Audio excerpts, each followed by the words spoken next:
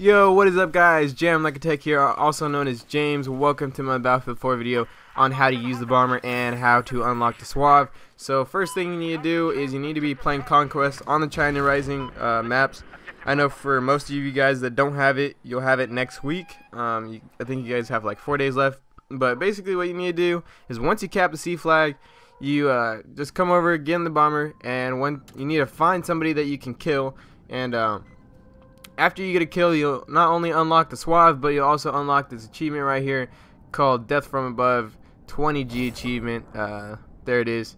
And you also get the Safe Rating Award, or medal, and that is uh, for the SUAV. So now that we have it unlocked, let's go get some gameplay. Uh, let me get rid of this helicopter real quick.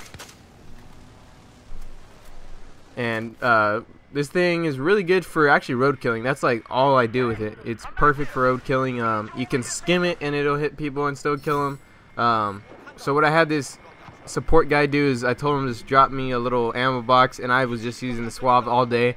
It gets it's a perfect way to get rid of annoying snipers that are too far to shoot if you're not a uh, if you're not a recon person. So I was just throwing um, SUAVs all day just trying to road kill people. But as you guys can see in the bottom right corner, there is little battery uh, pack sign. So it's not an unlimited flight time. You have a limited time to fly around uh, because it has batteries.